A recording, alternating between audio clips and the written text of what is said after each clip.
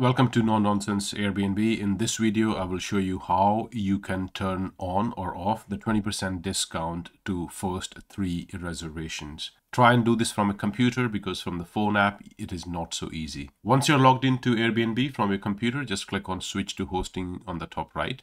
That will take you to your hosting dashboard.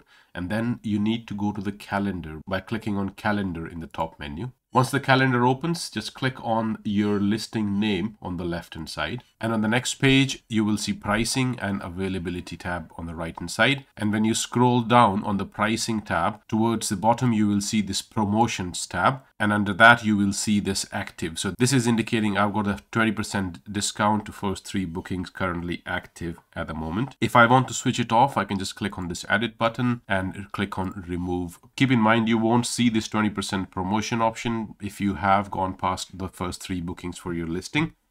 Another thing you will notice is once you deactivate this promotion, the option to restart the promotion doesn't appear immediately. You will need to wait about five minutes after that. If you come back into the same screen, you will see this new listing promotion. I hope Airbnb fixes this bug soon. But if you want to reactivate this promotion, you will just come back in here and click on new listing promotion and click on apply promotion. And then your 20% discount for first three bookings is active again. I hope you find this video useful. Please do like and subscribe to my channel and leave me a comment if you would like me to make a video about something which is troubling you. Until next time, bye bye.